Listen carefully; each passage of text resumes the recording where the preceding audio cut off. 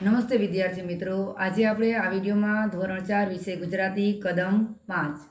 સવાલ પહેલો છે, નીચેના વાક્યોનું અનુલેખન ઉદાહરણ મુજબ કરો અને વાક્યમાં બે વાર શબ્દ વપરાયો હોય ત્યાં નીચે લીટી કરો. તો જે એક ઉદાહરણ આપેલું છે કે આરોના ઘરની આસપાસ પતંગિયા ઉડાઉટ કરતા હતા. ઉડાઉટ શબ્દ આમ બે વખત વપરાયો છે એટલે એને નીચે શું કરવાનું છે? આપણે લીટી કરો. કીધું છે એટલે અહીંયા લીટી કરવાની. એવી જ રીતે આમાં જો શું વાક્ય છે?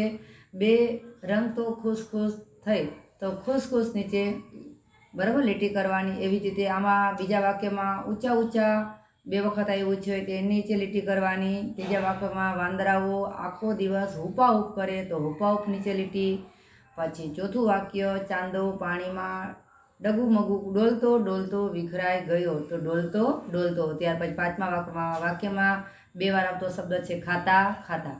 બરાબર? પ્રશ્ન બે, નીચે આપેલા ચિત્ર પરથી વાક્ય બનાવો. આ એક ચિત્ર છે. જો ચિત્ર શું છે? એક બગીચો હોય એવું તમને દેખાય છે, તો એના ઉપરથી વાક્ય બનાવવાનું છે. આ બાળકો છે, પતંગિયા ઉડે છે. બરાબર? તો આ પ્રમાણે આપણે બનાવવાનું છે કે આ પતંગિયાનું ચિત્ર છે, તેમાં કેટલાક પતંગિયા ઉડી રહ્યા છે.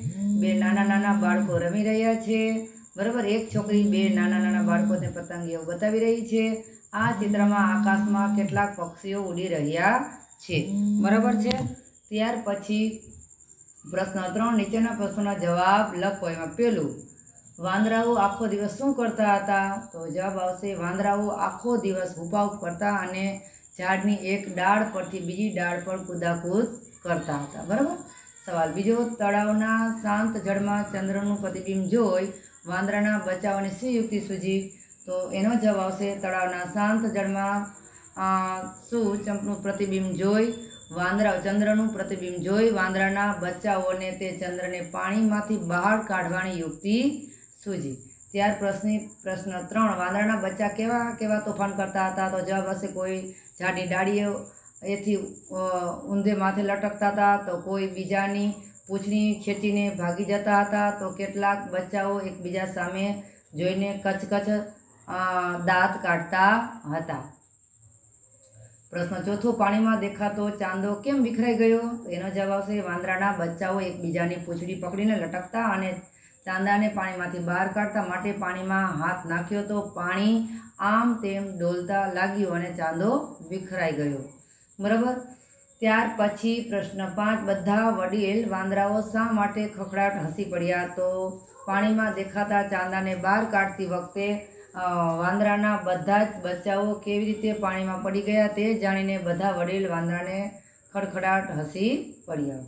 પ્રશ્ન ચાર, ધોરણ ત્રણના પાઠ્યપુસ્તકના પાના નંબર છોતેર પર આપેલ કવિતાને આધારે નીચેના પ્રશ્નોના જવાબ લખો. તો પેલું છે, ટપ્પુ કાચબો આખો દિવસ શું કરતો હતો? તો જવાબ આવશે, ટપ્પુ કાચબો આખો દિવસ પાણીમાં રહી છપછબિયા કર્યા કરતો હતો. પ્રશ્ન બીજો, ટપ્પુ કાચબાએ કોની સાથે દોસ્તી કરી હતી?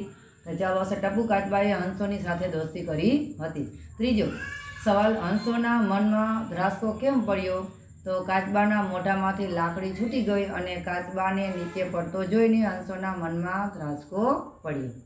પ્રશ્ન ચોથો, કાચબાની શાહી સવારી કોણે કોણે જોઈ? કાચબાની શાહી સવારી મગર માછલા અને દેડકાઓએ જોઈ. પ્રશ્ન પાંચ, હંસો લાકડી શા માટે લાવ્યા હશે?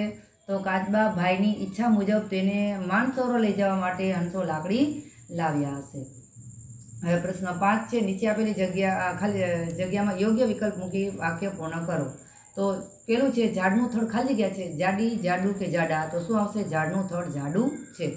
બરાબર?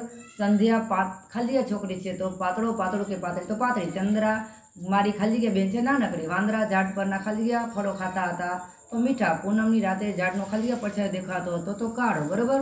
પ્રશ્ન છ, નીચે આપેલા અક્ષરોમાં યોગ્ય સ્વરચિહ્ન મૂકી મીઠાઈનું નામ લખો. તો જલ બ તો જલેબી મન થળ, તો મોહનથાળ, એવી જ રીતે. શું થશે? સતર, ફણ, તો સૂતર, ફેણી, પછી કજ, કતર, તો કાજુ કતરી અને ગલ ગજબ તો ગુલાબ, જાંબુ. બસ વિદ્યાર્થી મિત્રો, આ વિડીયોમાં આટલું વીડિયો લાઇક શેર અને સબસ્ક્રાઈબ કરજો.